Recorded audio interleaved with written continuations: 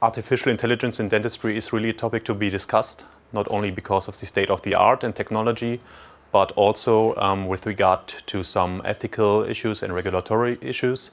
And um, it's nice that all of you are here, and that definitely shows um, that you are part of the of the early movers in, inside this field. And um, to the aims of this meeting, there will be a slide later on.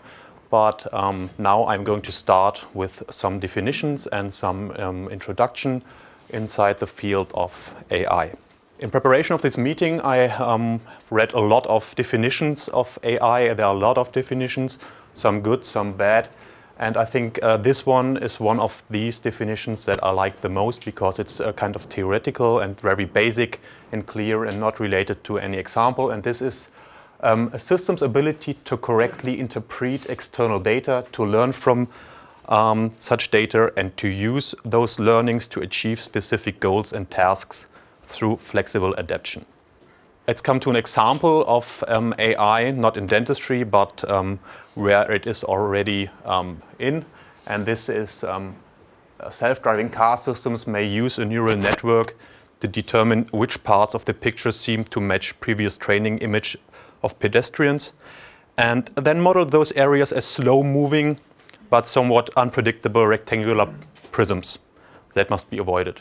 So you all are somehow unpredictable rectangular prisms. Um, well, I don't know whether I like that, but um, the machine just sees us in this way. You can use AI in almost every uh, industrial sector. And this is a nice example showing that it's uh, really inside every industrial part, in technology, in automotive, healthcare, industrial, fintech, and marketing. And this is only the startup market in Israel. This is Orca. They will present later on and um, I think they have really interesting things to say. Why are we doing this meeting now? So this is uh, the concept of a tipping point. So each technology that comes into a market, or the most technologies that come into a market, they have a development phase with early innovators, and then you have early adopters.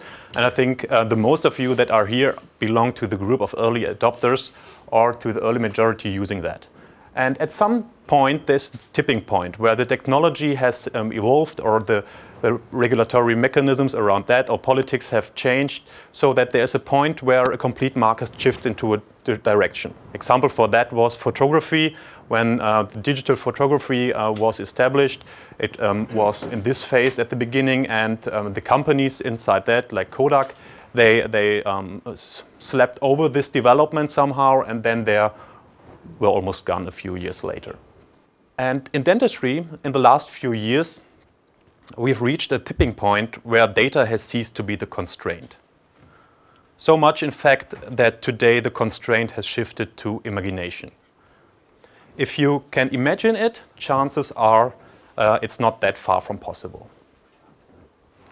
And I think in dentistry, we are around the tipping point right now. So that's the reason why we are discussing today let's come to the, um, to the use of AI in healthcare and dentistry.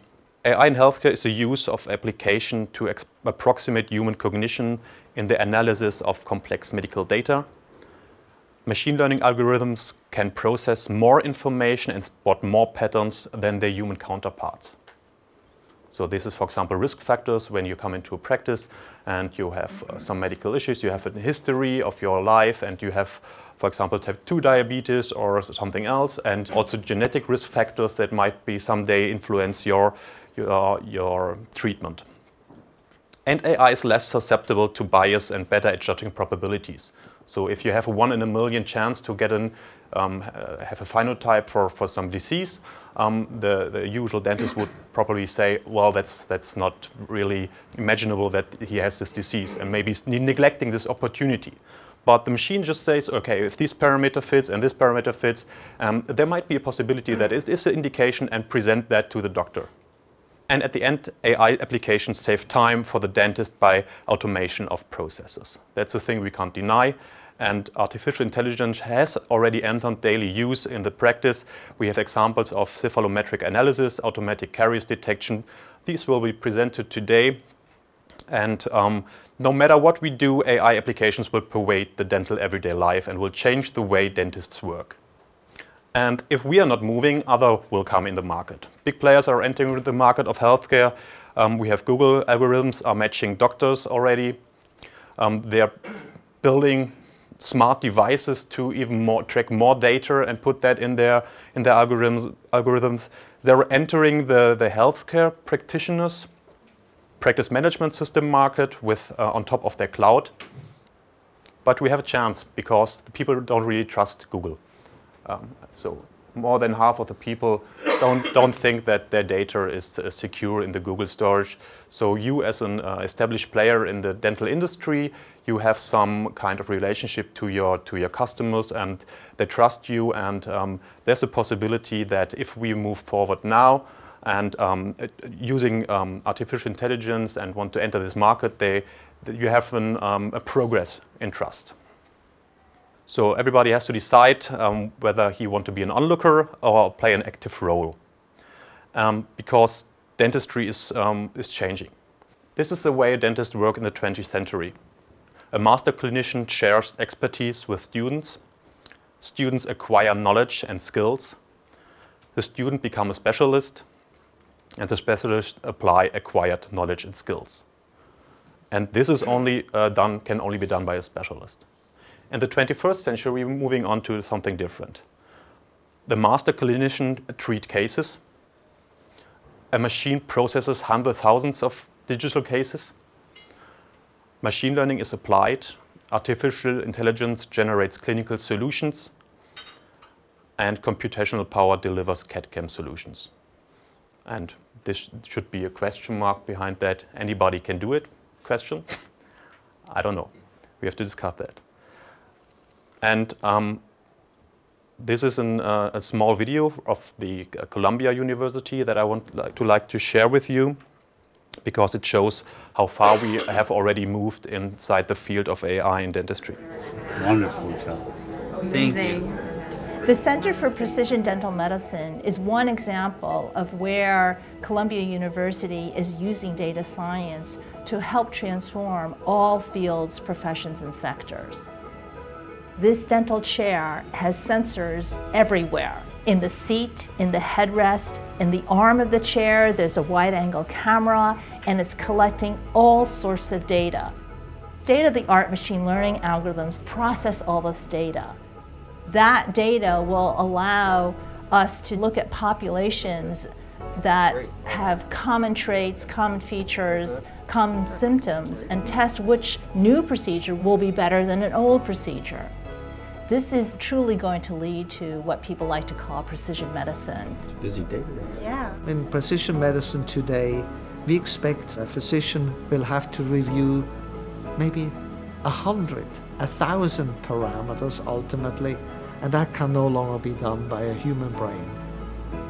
What we have seen in the last 15 years in terms of advances are so powerful that adjustments in the curriculum are necessary.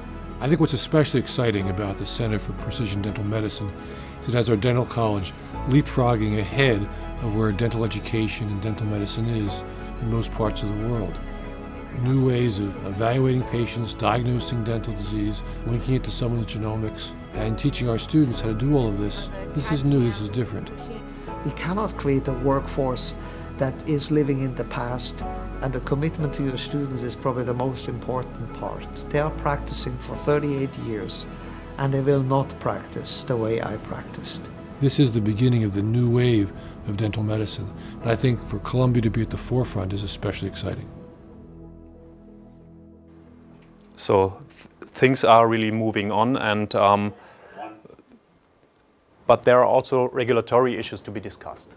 And there is the AI Now uh, Society in New York, and they're reporting every year about um, social um, implications of the use of artificial intelligence. And they always give some recommendations to the, to the government um, that I want to share with you, some of them. Governments need to regulate AI by expanding the power of sector-specific agencies to oversee, audit and monitor these technology by domain. Facial recognition and affect recognition need stringent regulation to protect the public interest. I choose this one because it is really important because what they, what they mention is that the scientific field of facial recognition and predicting uh, um, uh, the habit of a human being, it's not, it's not a, a, a trusted science. It's, it's, some, uh, it's not reviewed and there are some theories about that. And, but these, these science or these, these developments are moving into an AI technology. And this AI is then used by the police, by the police or by, by, the, by the government and not asking anymore what is the, ba the basic science behind that. So we have to really to think about um, what is, is the background of an artificial intelligence algorithm. And maybe also to display that or to somehow um, give the user an idea what is inside. Consumer protection agencies should apply truth in advertising. So there are a lot of um, companies out there saying that they do AI, but they never did, or they are not able, able to do so. And um, the last point, which is very important, university AI programs should expand beyond computer science and engineering disciplines. Um, we cannot longer educate our students just to to teach them uh, clinical routines and, and anatomy and all that stuff. We also have to teach them how to deal with an artificial intelligence algorithm um, when they can trust an artificial A an AI algorithms. And these are the questions. So under which circumstances is a dentist allowed to rely on AI applications? Do dentists need to understand the fundamentals of AI applications, respectively the basic data set on which an AI comes to a recommendation? And when can and when should a dentist actively decide against the recommendation of an AI? And how should education of dental students be changed when AI applications can retrieve a multiplicity of clinical cases and risk factors and compared to a dentist? So the aims of the meeting are at first thinking about the demand and possibilities of AI in future, state of the art in AI technology, rules for using AI in the practice, and then later on we are going to make a consensus paper, and then we develop and test and implement, and I think maybe we meet again next year uh, at that point. And um, here are the program points related to this uh, to these fields, to these um, topics. This is um, Professor Dr. Stadlinger um, and Dr. Schröder speaking about expectations. Then we have state of the art. Then we have, uh, by Professor Schmalz, the question about um, regulation and standards in dentistry. The consensus paper will be published later on in a few months uh, in the Computerized Dentistry Journal, and um, you're all invited to contribute to that. And after the meeting, I think there will be some uh, projects maybe defined. We start into cooperation develop new AI applications, and what I think might be possible to build a network or even a society to discuss this, also these ethical issues uh, regarding AI, and um, also to speak with the polit politics and um, bring this field further in the industry. So you might ask what Quintessence has to do with AI. So our core competence of Quintessence is education. We start with collecting data and information, then we edit information, then contextualize information, provide information to the community, and thereby, this is the center of our activity, educate and generate new experts. And what has Quintessence Publishing to do with AI now? Only the medium and format is changing. So next to print, AI applications are just another medium or tool to educate and generate experts. A dentist can treat a patient optimal when his personal knowledge space somehow fits the needs and the precise situation of the patient in, in the office. And if something is outside this knowledge space, you just cannot treat the patient correctly. Maybe you do not know the risk factor to, to deal with, or you do not know the correct treatment. And that's why we have um, been working in uh, the last years on, um, on a, uh, a, research project funded by the German government, by the Federal Ministry of Education and Research. It's called Simple Anno. It's a middleware for ontology, text mining supported simplification of annotation and search of digital medical content using the example of dentistry. And this was um, four and a half person years uh, of work. And we have built a dental ontology with 3,500 standardized multilingual terms sorted into treatment steps. There is an annotation rule ontology uh, going to be pre presented uh, in the afternoon, content categorization ontology, uh, keyword storage data model, and a case store and keyword annotator. Why do we do that? Because Quintessence has a big treasure of knowledge. Since 2013, we have collected more than 100,000 uh, dental images, edited high resolution images in over um, 10,000 scientific articles, and also uh, more than 100,000 images in our books. And what we want to do with Simple Anno is to find relevant keywords in all published cases and tag these cases with keywords sorted into categories of treatment steps. And then write all this information in each image that is collected during the daily practice and also in our cases. So if you download the image, all the relevant keywords of the complete case are inside the image and can be shared and you do not need a database where the, where the data set of, of keywords and uh, are inside. Everybody can deal with that and use that for example um, in the practice management system. And by doing that, we can make connections between um, keywords in the anamnesis and finding the practice management system and our relevant cases. And the perspective that we have is that we provide cases and images that are similar or comparable to the precise situation of the patient.